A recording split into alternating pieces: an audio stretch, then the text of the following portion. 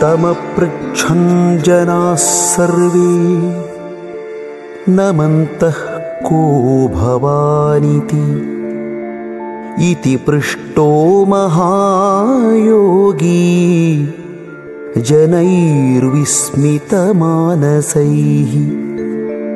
प्रत्युवाच शिवाद्वैतमहानन्दपरायणः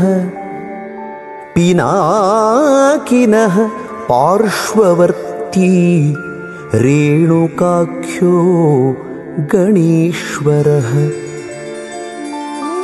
എല്ലാവരും അദ്ദേഹത്തെ പ്രണമിച്ച ശേഷം ചോദിച്ചു അവിടുന്ന് ആരാണ് വിസ്മയചിത്തരായ ആളുകൾ ചോദിച്ചത് കേട്ടപ്പോൾ മഹാനായ ആ ശിവയോഗി പറഞ്ഞു ഞാൻ ഭഗവാൻ ശിവശങ്കരന്റെ ശിവാദ്വൈത പരമാനന്ദത്തിൽ ലീനമായ ശിഷ്യൻ രേണുകാ ഗണേശ്വരരാണ്